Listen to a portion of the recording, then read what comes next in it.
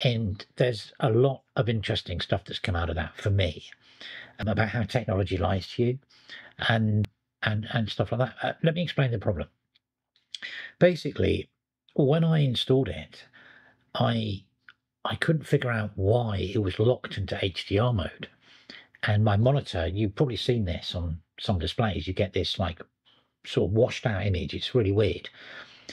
And what that is, and this was a real stumbling block, and then what would happen is I'd switch off HDR in Steam, and then the next time I'd launch it on my system, it would black screen. And so I went through this massive process of actually stripping out the EDID data, which is what the the, the screen advertises as its capabilities, back to Steam. I did everything and I couldn't get it to work. And I couldn't work out why.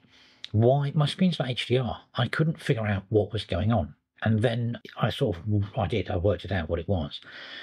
I've got an Asus screen, and what it does, it's what's called HDR capable. And when this was bought ages ago, I didn't even think about it.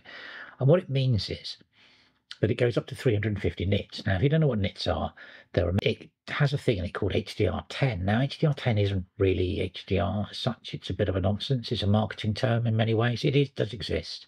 It is a standard, but it's not very good. It's not Dolby Vision generates brightness on level by level by level, uh, on scene by scene by scene.